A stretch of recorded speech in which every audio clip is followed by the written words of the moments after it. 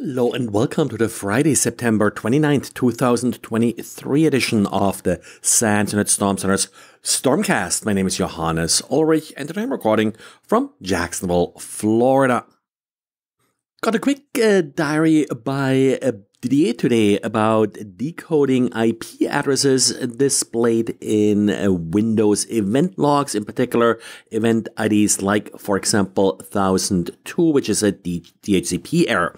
Now, typically that shouldn't really be all that difficult. Uh, the IP address is displayed as an integer, and you would expect this to be your usual network endian integer course, uh, quite often, actually, I always recommend uh, to developers to represent uh, IP addresses as integers because then you are avoiding a lot of the ambiguities that you have with various string encodings of IP addresses.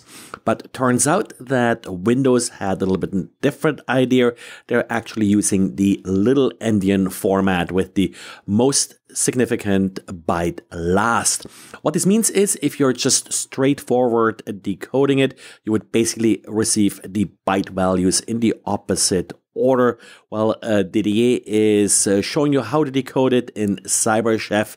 So hopefully this will help you make more sense of these Windows event logs.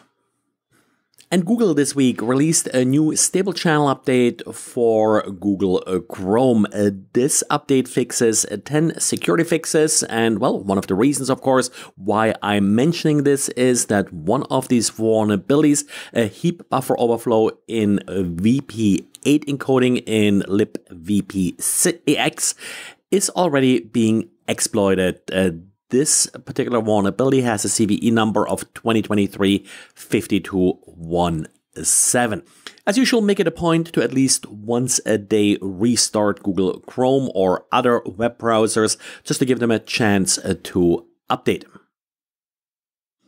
And the Zero Day Initiative uh, today published six advisories regarding the email server Exim. Now, the Big problem here is that there are no patches for any of these six vulnerabilities, despite having notified Exim over a year ago back in June of 2022.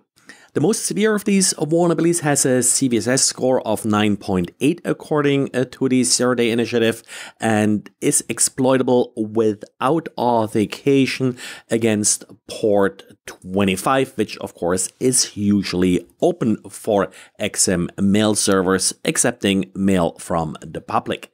It's a buffer overflow, so likely it is somewhat exploitable depending on what other buffer overflow mitigations are put in place place.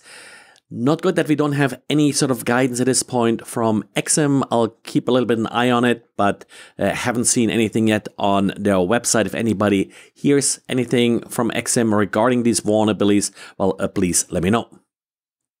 And then we got also updates from Progress, the maker of MoveIt, but in this case, not for their product MoveIt itself, but for WSFTP, the FTP server component.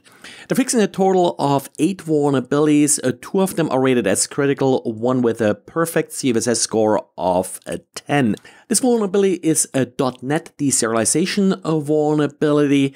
It may be exploited without authentication. The second critical vulnerability, CVSS score of 9.9 which is a directory traversal vulnerability and would allow read, write, delete access uh, to arbitrary files on the system running WS FTP. The high vulnerabilities are cross-site scripting vulnerabilities, SQL injection vulnerabilities. All of these vulnerabilities are in the WSFTP server manager interface. So that's why you have these web application vulnerabilities here. It's not FTP that you would be speaking in order to exploit these vulnerabilities. Well, and that's it for today. So, thanks again for listening. Thanks for recommending this podcast. Thanks for providing feedback. And as always, thanks for leaving good comments at various podcast platforms. Talk to you again on Monday.